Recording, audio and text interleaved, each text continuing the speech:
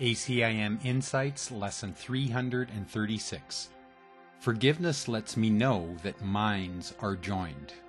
This lesson is making it explicitly clear that peace of mind can only be found by looking within. No amount of looking to external circumstances will bring me peace. The ego tells us that if we just have the right relationship, or live in the right house, or have the right job, or if our co-workers behave differently, then we could be at peace. This lesson is telling us not only that we won't find peace there, but to find peace we must forgive. This means we need to let go of our judgments about relationships, co-workers, jobs, and houses. Perceptions can serve a helpful purpose in this world if we turn them over to the Holy Spirit, for Him to use for His purpose. He will use perception to teach us to learn to look beyond it.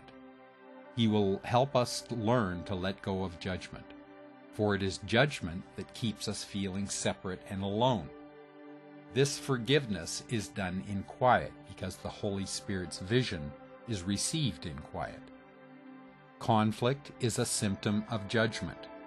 When we experience tension, discomfort, frustration, resentment, even a minor irritation, it is a sign that we need to return to peace, return to the quiet place in our mind, and receive the Holy Spirit's vision.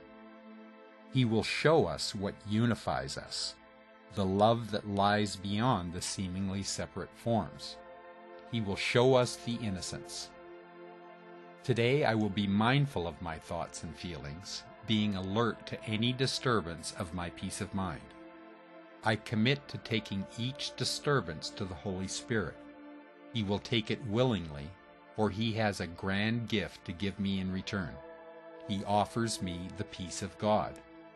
I need but give him my thoughts of judgment, my calls for love, and he will answer by showing me the love that God placed in my heart, myself.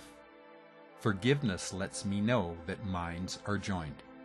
Everything I see with my body's eyes is a distortion of the truth. What I see through the body's eyes is separation, individuality, differences, each thing separate and alone. What I see through the body's eyes is not the truth. Believing in these distortions comes with joining with the ego. I have joined with the ego and have thought that the distortions were real. I am now in the process of awakening to the truth. I do this through joining with the Holy Spirit in my mind. It is the Holy Spirit that shows me that the distortions are unreal. It is with the Holy Spirit that I learn to see past bodies, to recognize that we all come from the one mind, and we have not left that mind.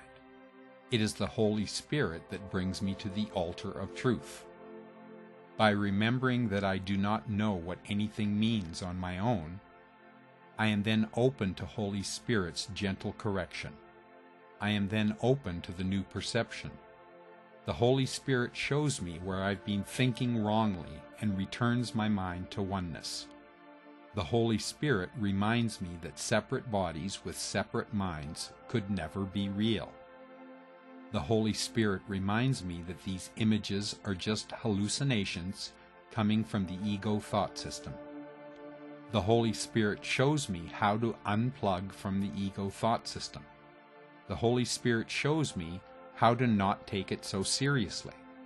The Holy Spirit shows me how to be truly helpful in every situation where I am led.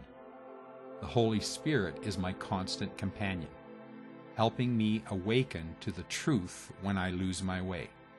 The Holy Spirit leads me to the peace of God.